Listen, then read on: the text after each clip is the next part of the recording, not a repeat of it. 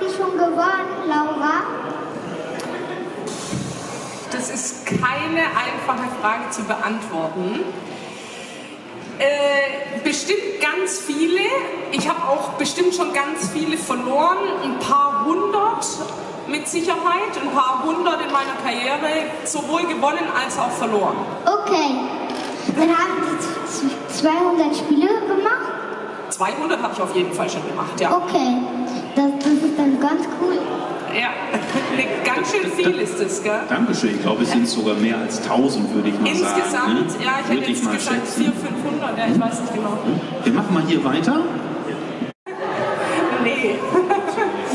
nee, mein Tennisschläger ist immer in der Tennistasche äh, und ich bin dann, wenn ich nicht auf dem Tennisplatz stehe, manchmal auch ganz froh, wenn ich meinen Tennisschläger gar nicht unbedingt sehen muss. Da bin ich auch mal froh, wenn es mal nicht um Tennis geht, wenn ich einfach mal ein Buch lesen kann oder mit einer Freundin telefonieren kann, wo es nicht immer nur um Tennis geht.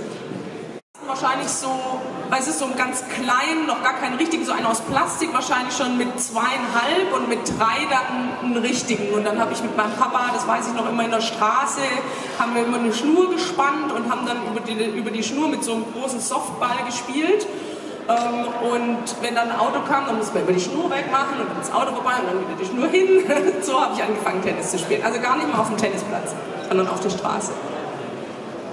Meine zweite Frage ist, ähm, mit wie vielen Jahren und wen hast du das erste Mal besiegt beim Tennis?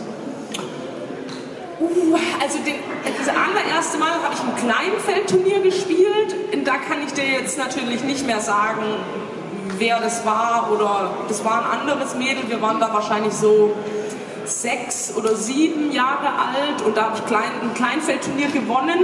Dann am Ende, und da war ich ganz, ganz stolz wie Bolle und habe den Pokal in die gereckt und ich dachte, das ist so ein Ding, so ein Riesenpokal und der steht jetzt bei mir im Regal und der ist so groß, aber ich war auch so klein, ich war noch so klein, so wie du, wie alt bist du?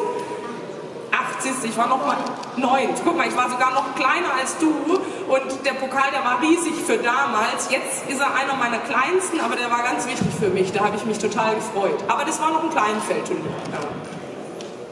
Sind Sie oft nervös vor den Spielen? Ja, immer.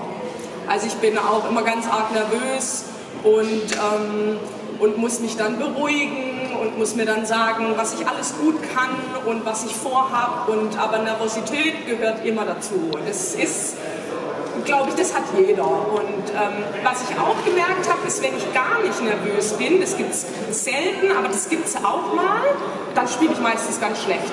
Also wenn ich nervös bin, spiele ich viel besser, als wenn ich gar nicht aufgeregt bin. Das kannst du dir vielleicht mal merken. Wenn du mal nervös bist, ist es gar nicht so schlecht dann für die eigentliche Performance.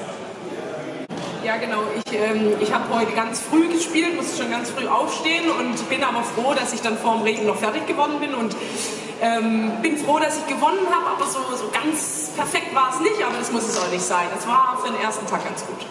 Wieso war es denn nicht perfekt? Waren doch nur zwei Sätze. Das stimmt. Äh, perfekt ist es sowieso selten. Ja? nee, aber ähm, gerade am Anfang, wenn man so in so einem Turnier anfängt, da muss man sich ein bisschen, muss man sich ein bisschen eingrufen, muss man erstmal so ein bisschen, äh, wie soll man sagen, sein Spiel finden. Ja. Aber ich bin happy, dass ich gewonnen habe. Warum bist du eigentlich Tennisspielerin geworden?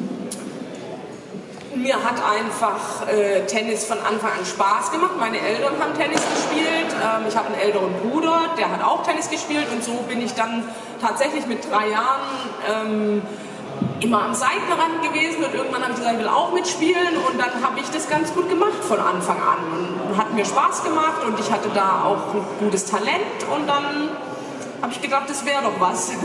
habe viel trainiert, habe am Anfang viel mit meinen Eltern gespielt und dann, ähm, ja, wie das so ist, dann hat man Training genommen und dann wurde ich immer besser, immer besser und irgendwann habe ich gemerkt, ich glaube, ich möchte da richtig gut drin werden und habe dann angefangen, noch mehr zu trainieren und so hat dann meine Karriere angefangen.